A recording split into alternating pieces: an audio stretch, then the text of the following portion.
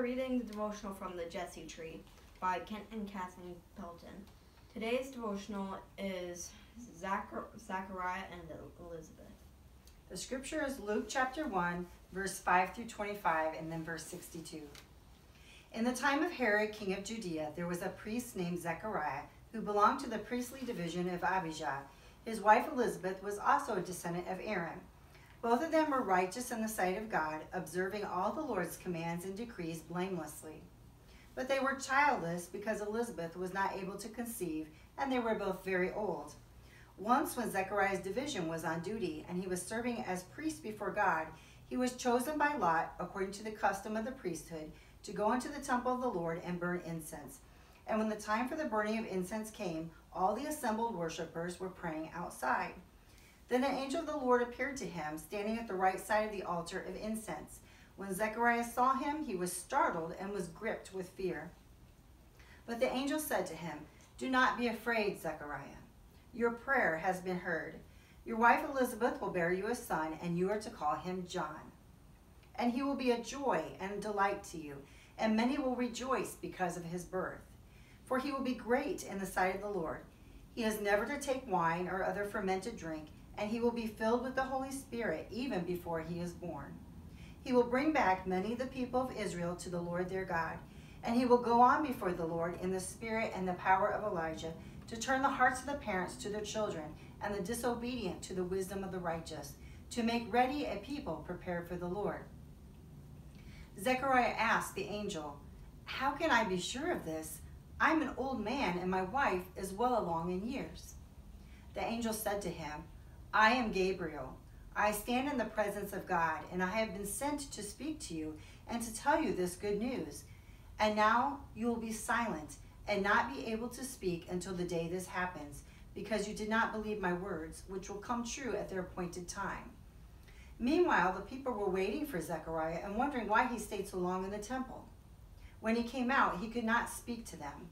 They realized he had seen a vision in the temple, for he kept making signs to them but he remained unable to speak. When his time of service was completed, he returned home. After his wife Elizabeth became pregnant, and for five months she remained in seclusion. The Lord has done this for me, she said.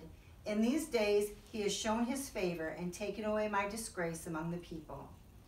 Then they made signs to his father to find out what he would like to name the child. Zechariah, a priest and the father of John the Baptist, was conscientious and sincere. Elizabeth was his faithful wife, supporting him throughout his ministry in the temple. While ministering before the altar of the Lord, God spoke to Zechariah. Even though he was in the house of God, the priest had his doubts as to the words of the promise, in which he would play a small part. Would you have been afraid? Would you have doubted? Think carefully. Sometimes we criticize Zechariah for having doubted the words of the angel.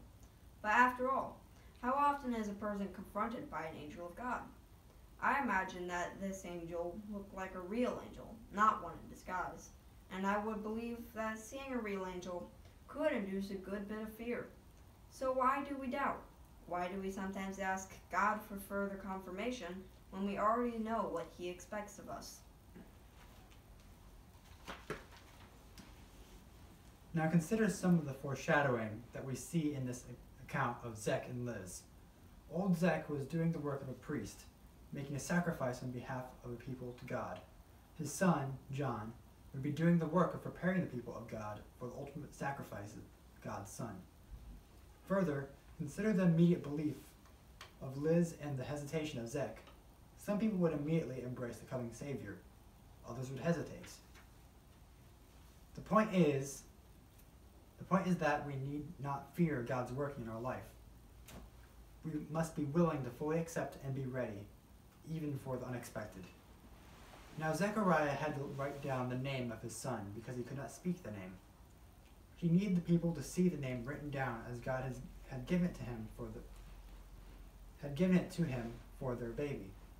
When reading the written word, they could understand the truth for themselves. And now we're going to sing Trust and Obey number 437 from the Sing the Lord hymn book. Many of you are very familiar with this song um, from growing up. So please sing if you know it.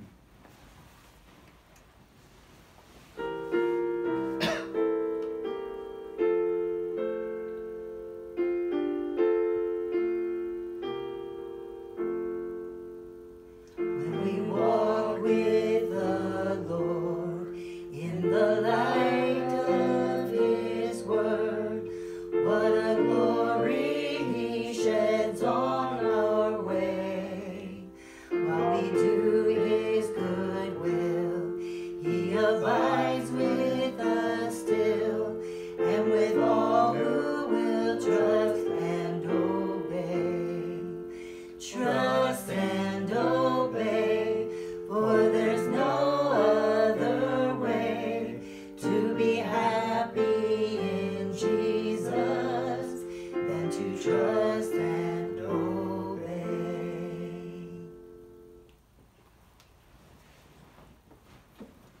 Let us pray. Father, you speak to us daily, and we pray that in the rush and the stress of our world, you would help us to keep our ears and our hearts open to receive you. Help us have room in our hearts this season for you to make your home in us. We want to fully embrace you and your promise and receive your blessing. Amen. Amen. Thank you for joining us. What? Oh, oh. You said that his name would be Moses?